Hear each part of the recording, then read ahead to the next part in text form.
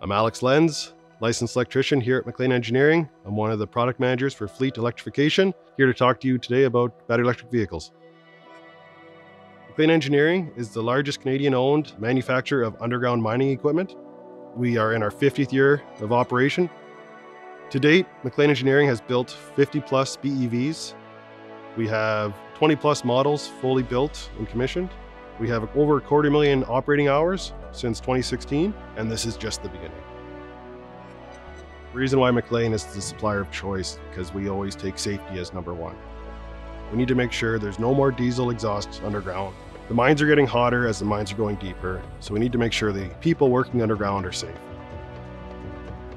The battery electric vehicles allow that because they, they run much cooler than a diesel vehicle and they don't produce any pollution while they're operating. What you don't see is what's under the hood of the battery assembly.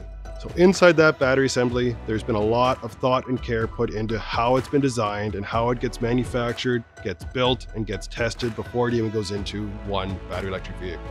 MacLean Engineering designs and builds all of their battery assemblies in-house. We purchase the battery subpack from XALT Energy in Michigan, United States.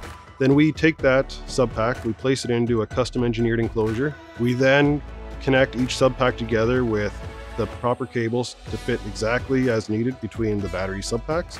We then connect all the subpacks together into certain strings to get a full assembly of 14 subpacks, which gives you a nominal voltage of 621 volts DC.